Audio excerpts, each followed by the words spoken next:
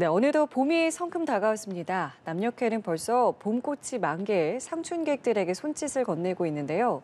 전남 구례 지리산 자락에서는 샛노란 산수유꽃 축제가 시작됐습니다. 산골 마을의 봄 풍경을 김경인 기자가 카메라에 담았습니다.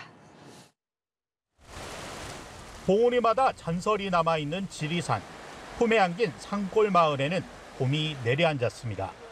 계곡을 따라 봄의 전령인 산수유꽃이 수채 물감을 풀어놓은 듯 노랗게 물들었습니다. 겨우내 얼었던 계곡 물소리와 거들강아지도 봄을 알립니다.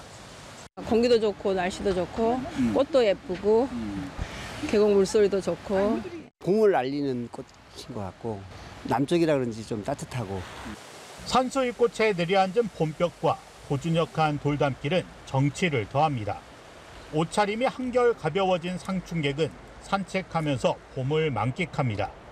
출사객은 찰나를 놓칠세라 부지런히 셔터를 누릅니다. 친구들과 함께 추억을 남기는 여성들은 소녀 시절로 돌아갑니다.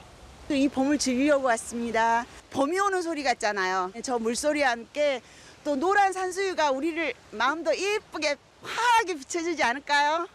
산수유꽃은 꽃망울이 벌어지면서 한 번 피고 꽃잎이 터지면서 다시 한 번 피어납니다. 축제와 함께 절정을 이룰 것으로 보입니다. 구례에 꼭 한번 와 보십시오. 정말 산수유꽃 이 노란 꽃이 정말로 아름답습니다. 꼭 마음의 아름다운 마음도 담아 가시고 구례를 방문해 주시길 바라겠습니다. 봄을 알리는 산수유꽃 축제는 오는 17일까지 진행됩니다. 연합뉴스 TV 김경인입니다.